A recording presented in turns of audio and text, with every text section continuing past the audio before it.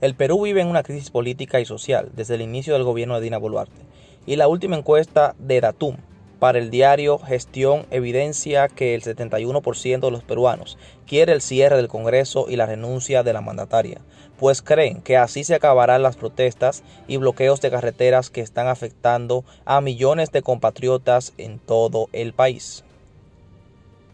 Respecto a la posición con el cierre del Congreso, otro 71% se mostró a favor, el 25% en contra y el 4% decidió no opinar.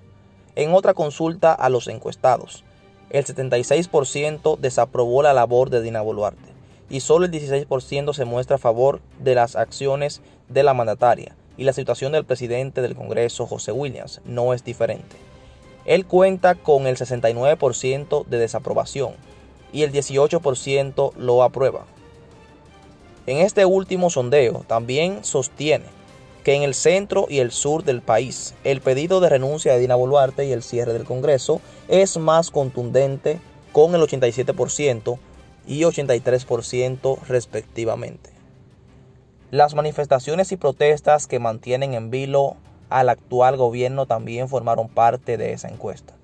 El 37% considera que el conflicto social que afecta al país es molesto el 23% se siente frustrado, mientras que otros manifestaron que le es indiferente el 4%.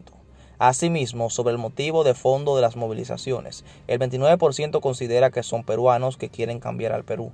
Otro 25% sostiene que es para exigir mayor presencia del Estado. Sin embargo, hay un 17% que indica que es para imponer su ideología o su opción política.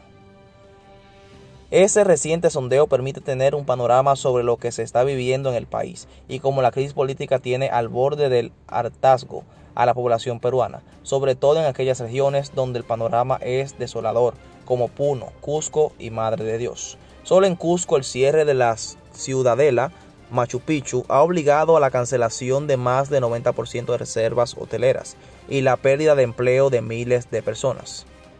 Asimismo, el analista Enrique Castillo consideró que la encuesta es un golpe fuerte a Boluarte, porque tres cuartas partes del país pide su salida, y que el mensaje que le están dando es que ya no confía en ella ni en el Parlamento. Esto informó.